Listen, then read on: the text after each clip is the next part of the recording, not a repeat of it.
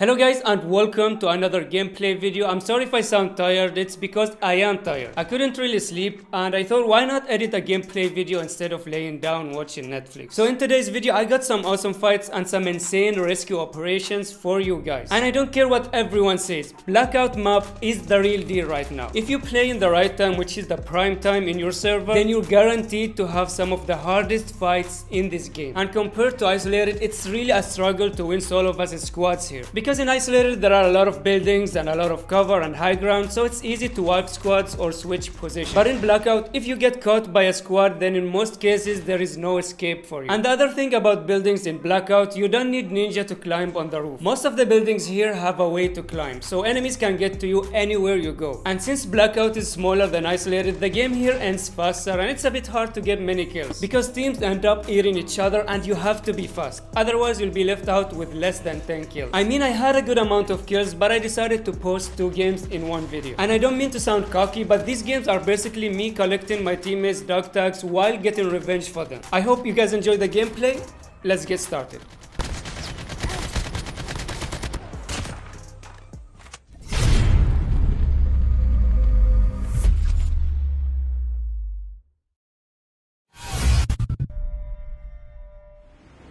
Let's start with game 1 and as bad as it may sound I decided to unfollow my team here and land on construction site. I mean come on this place is basically the platform of blackout and on top of that it's a highlighted area with a helicopter and it's right next to the plane pad. I mean how can you resist not landing here?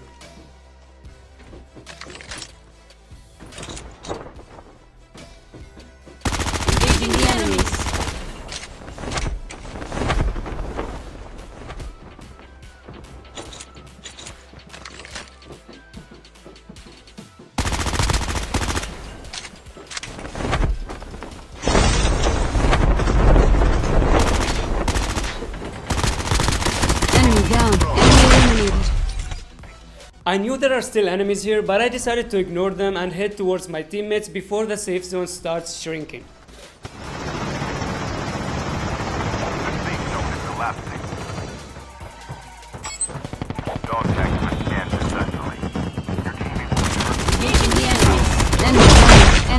safe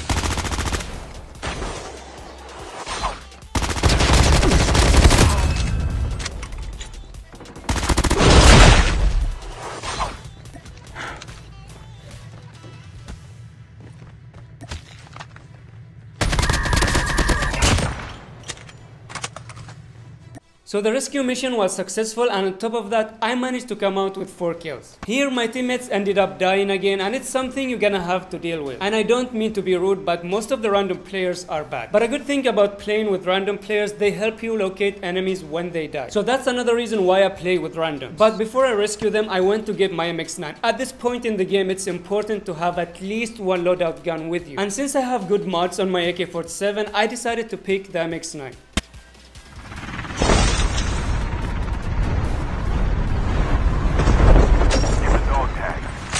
So we got the tags and we scanned them without any trouble. Then we went out for some kills and I engaged as soon as I got the chance. I was so thirsty and I'm glad I did because the place I landed at ended up being a war zone.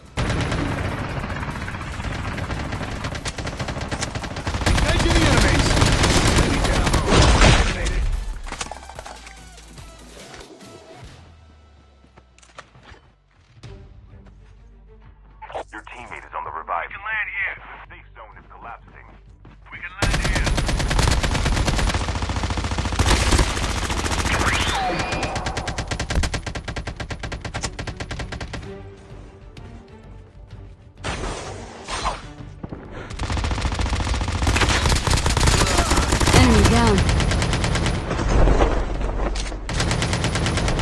Hey, hey, hey! Big Smoke! It's me, Carl! Chill, chill! Enemy eliminated. I'm down. Two. Get the dog tags and help them return to the battle. Get the dog tags. The airdrop is coming. Dog tag.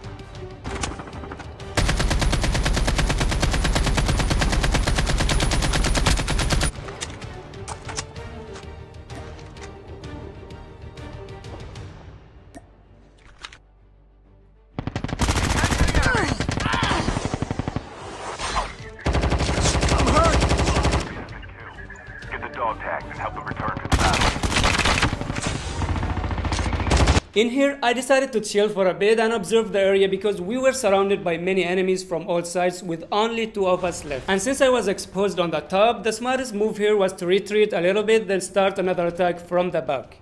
Be careful, a poltergeist is active. Engaging the enemies.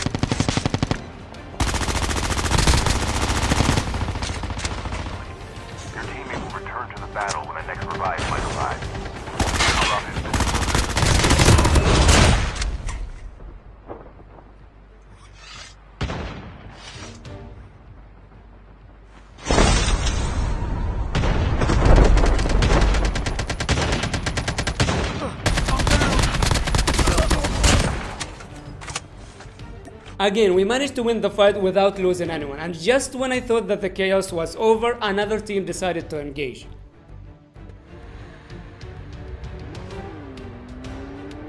The revived flight will arrive in one minute.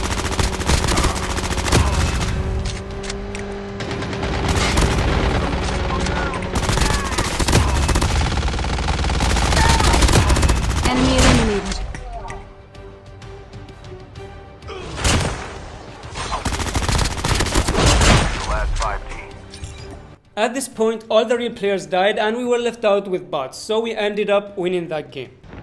We have a winner.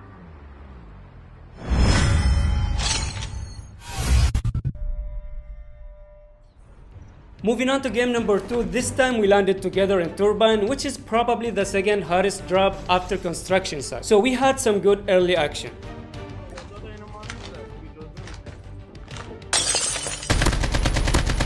Enemy down.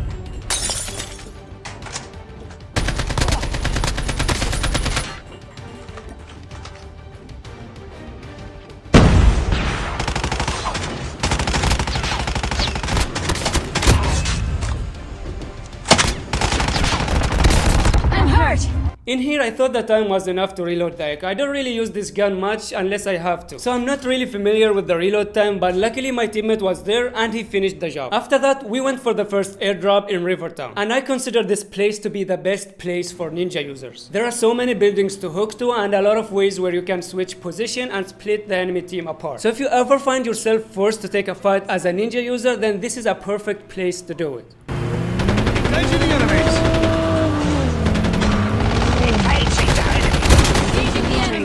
Enemy down. Enemy.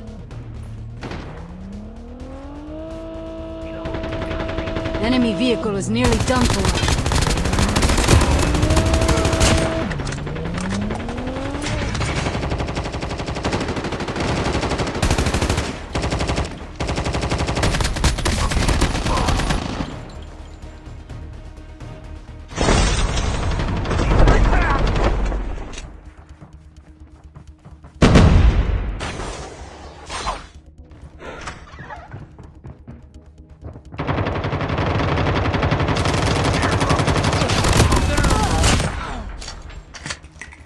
The next objective was to get a loadout gun and for me to upgrade my ninja. Sadly it was too late to get the airdrop so for now I headed towards the upgrade terminal.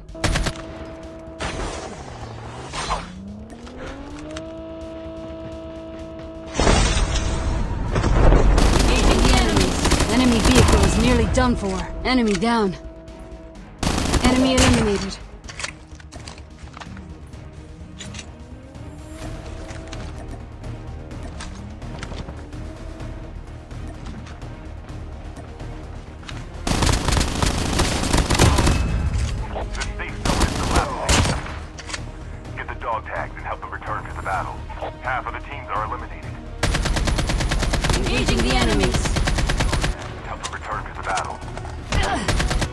One thing I learned from this map is to never challenge a good sniper. This player melted 185 HP from me with one shot and another shot would have killed me so I knew he's good and I waited for a better chance to kill him.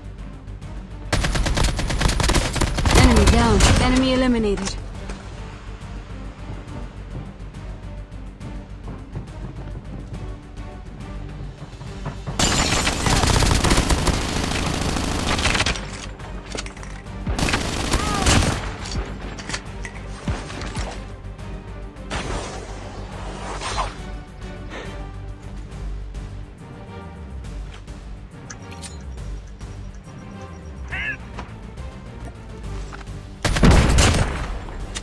While I was busy fighting these guys, my entire team got killed. So I had to drive towards them ASAP as the zone was closing in. And on the way, I got an MX9 from the enemy and an AK-47 from the airdrop. So I was 100% ready for it. The plan was to get their tags, then instantly drive inside the circle. But things didn't go according to plan.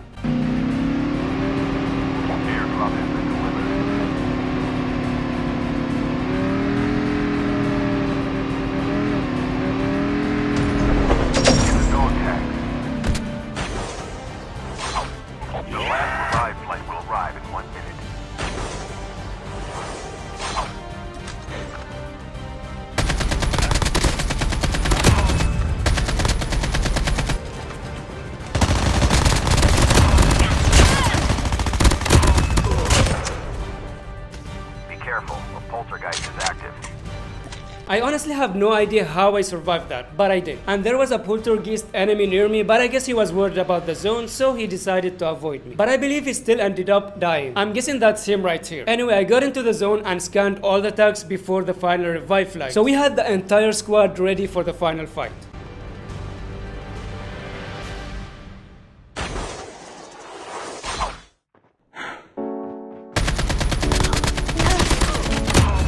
What I mean? There are so many good snipers here. This guy barely had time to react and still managed to melt another 185 HP just like the last guy.